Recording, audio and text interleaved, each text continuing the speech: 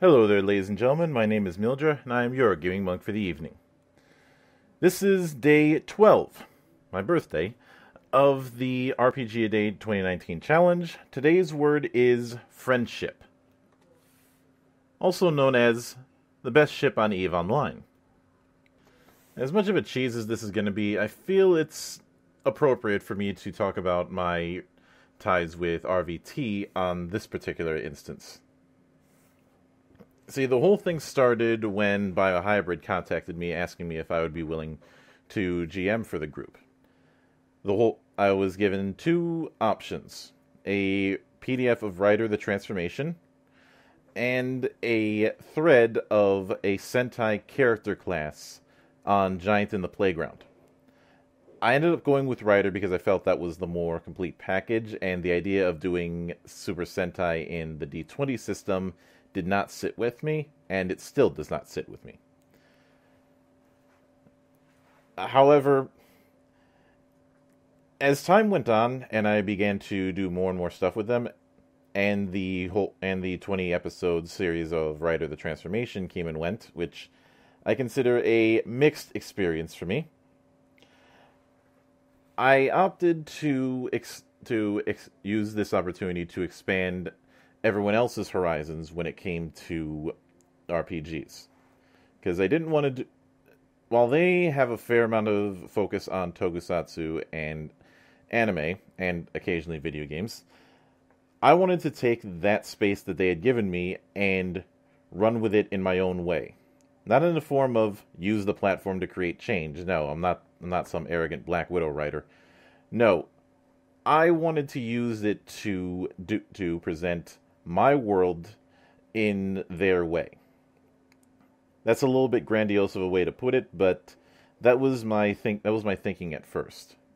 Because once that finished up, I was not really interested in utilizing Rider again because of how much of a pain in the ass it was to try and get certain mechanics right. And to put that in perspective, something like utility forms, a mainstay of Kamen Rider since 2000, Actually, I'd argue even since 1987. I had to come up with on the fly. It was not in the main book. Because of that, I ended up going with something different, and I wanted to do something that I was going to be a little more comfortable with and was something that was going to be a little more outside of the, fami- the familiar. So I did Numenera. And we did that for a while as a kind of not an overarching story, but a bunch of smaller tales, sometimes using one shot adventures, sometimes otherwise. With the last one being, of course, the lengthy adventure known as The Devil's Spine. This was to kind of give a contrast to, to me. And then in the middle of that, that was when I came up with the idea of Monk Minis, a kind of one session break from the usual thing, just to keep things fresh. And once once Numenera finished at a level that I was comfortable with, I decided it would be then appropriate to move into a to another to another setup. I believe that one was the set was the second city. Nope, I take no, I take that back. It was not the second city. It w- it was the enemy within, using the much maligned and much controversial Warhammer Fantasy Roleplay 3rd Edition. Which I will admit it has its problems, but I do think it got a little bit too much hate than it deserved. And I'll probably cover it again when I talk about a little theory I've had with Fantasy Flight Games' forays into um, RPGs over the last decade. But more on point the enemy within the third edition version of it was a very fascinating mode of a whodunit. And I do take pride in the fact that every that everybody ended up falling for the red herring when it came to who was the actual black cowl in that mystery. Which means that I ended up setting up all three as as potential enough that and this was the key thing that I that I had said to them. Any of these three people could be the villain Every one of them has means, motive, and opportunity. It is merely a question of who actually had the balls to go through with it. and of course, I had the I had it in mind about who was who it was going to be from day one, but I wanted to see how long it would take before they figured it out, and it it went for a while. And then there was the second city, which covered Legend of the Five Rings Fourth Edition, a game that I have a pers- I've had a bit of love for for God knows how long.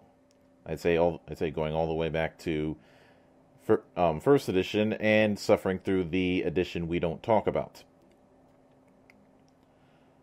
That said, the setting after that, um, Doomsday Dawn using the Pathfinder Second Edition playtest, was probably the most cursed run I've ever done.